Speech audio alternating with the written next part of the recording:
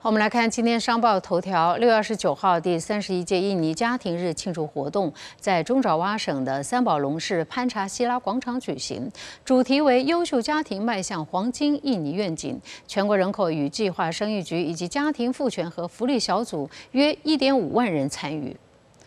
此次活动旨在共同打造健康和兴旺的家庭，让生长迟缓干预计的这个干涉的预计划能能够得以顺利开展。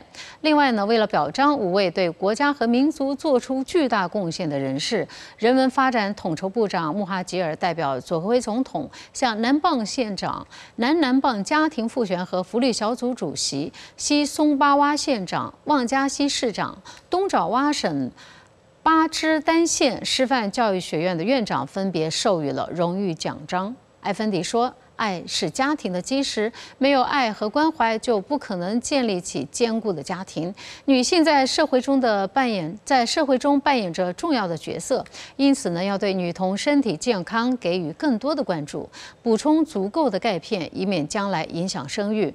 那么，关于加速降低生长发发育迟缓，全国人口与计划生育局局长哈斯托表示，必须要继续遵循国家战略，同步干预来加速降低生长发。发育迟缓。